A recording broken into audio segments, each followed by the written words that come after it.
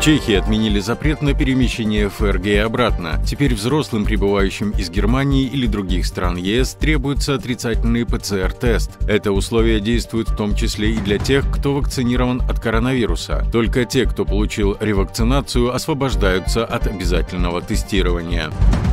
Немецкий инфекционист Матиас Плец считает, что в следующем году ожидается спад пандемии. По словам специалиста, коронавирус массово распространился потому, что у людей не было совершенно никакого иммунитета. Сейчас ситуация изменилась. Население планеты вакцинируется и даже приобретает гибридный иммунитет, который формируется после введения прививки и заражения омикроном.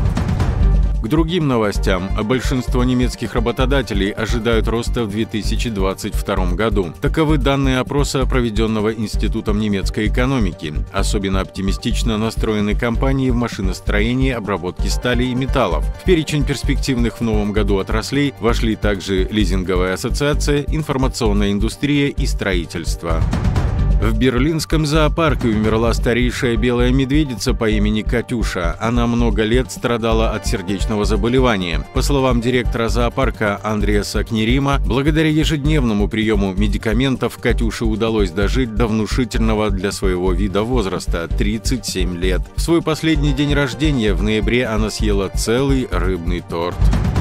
Астрономы рассказали, какие небесные явления смогут увидеть жители Германии в ближайшие дни. В ночь на 4 января на небе достигнет пика активности звездопад Квадрантиды. Астрономы ожидают до 120 метеоров в час или одну-две падающих звезды в минуту, а в ночь на 1 января можно будет наблюдать затмение Марса Луной.